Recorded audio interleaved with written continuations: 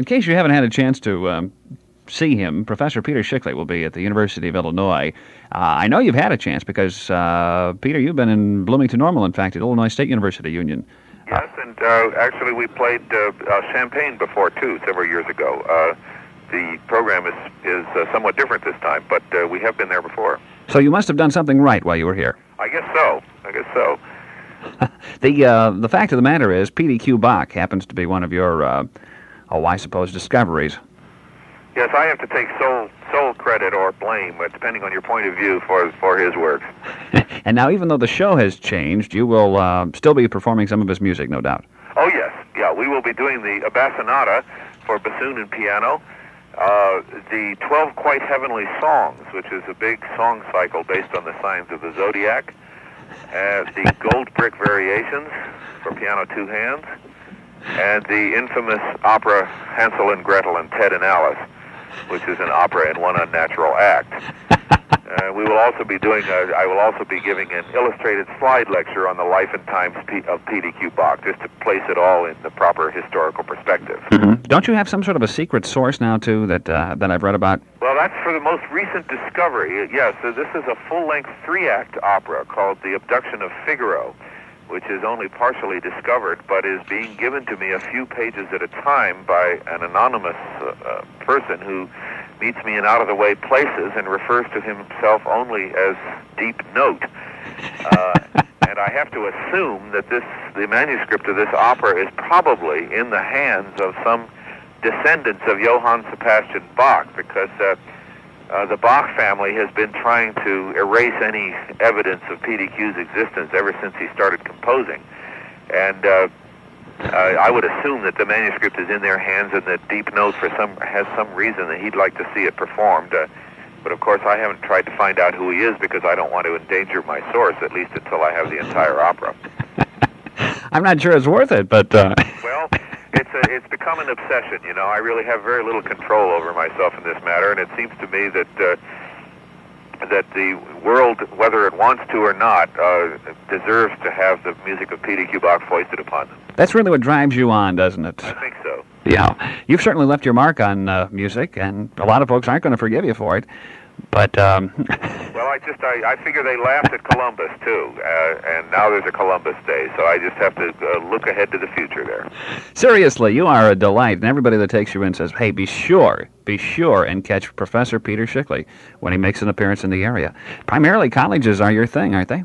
Well, no, not necessarily. Uh, this program, the Intimate PDQ Bach uh, that we're doing, uh, there is uh, we play a lot of colleges, but the rest of my touring is uh, situations in which I appear as a guest soloist of symphony orchestras. So I have appeared with with uh, symphony orchestras all over the country, ranging from the Boston Symphony and the Los Angeles Philharmonic and the Chicago Symphony uh, down to the New York Pickup Ensemble, uh, which is the orchestra that we use for our Christmas time concerts in New York. Uh, so in that case, I play many more uh, regular symphony orchestras than colleges. Mm-hmm. But you you went to school, didn't you? Yes, I, I went to Swarthmore College first, and then I uh, was a composition major at uh, Juilliard in New York. I see. So the business of being from southern North Dakota or northern South Dakota is Well, uh, Fargo, North Dakota is my hometown. So it's, uh, uh, although Hoople, uh, North Dakota, which many people think doesn't exist and does, uh, the University of Southern North Dakota at Hoople might be a little bit hard to find, but I actually do come from Fargo. I see. But New York is your home now, then. Yes, I've lived there for quite a while. Yeah.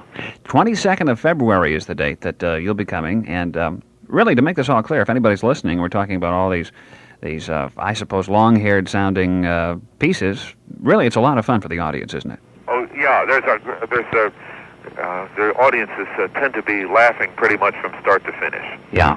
You don't really have to appreciate, uh, I suppose, big concert orchestras to uh, really get a kick out of PDQ Bach. I, I tell you, particularly in the live concerts, even more than the records, uh, there's an awful lot of visual stuff going on that doesn't get on the records. And uh, even if you don't know classical music very well, there's a, there's a lot there that you could get in on. Yeah.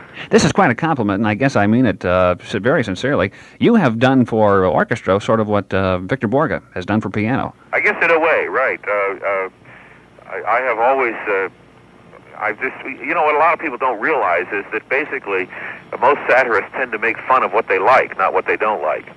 Uh, Victor Borge studied to be a, a concert pianist, and Anna Russell studied to be an opera singer. And uh, there's no doubt in my mind that, although I never planned it, that one of the reasons that P.D.Q. Bach is a an 18th century composer is because Bach and Mozart are two of my favorite composers. So, Mhm. uh, uh, yeah, I, a lot of the stuff is, is for orchestra. Do you ever find anybody who's in the uh, real realm of music who does criticize anything you do, or do they think it's all pretty funny too? Most musicians tend to enjoy it, but there are some people who feel that classical music is sacred and should not be tampered with. That's just uh, uh, it's just a different viewpoint from mine. To me, it doesn't detract at all from the original.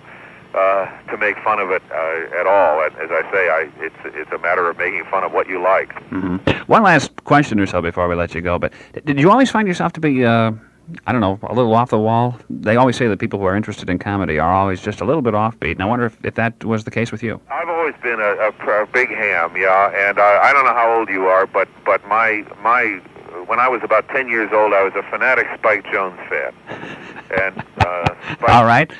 uh, Spike Jones, uh, you know, in, the 40s and 50s, uh, did take off the, the pop music of the day and also some of the uh, better-known classics.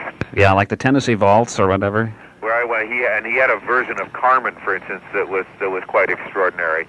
Uh, and when I was when I was a kid, I, I spent a lot of time acting out those records. I knew them all by heart. And a few years ago, when I turned my kids onto them, I still I still have most of those things on tape. And uh, uh, when I turned my kids onto them, I I found that I could still mouth those things syllable for syllable. So I think that's that's where it all started.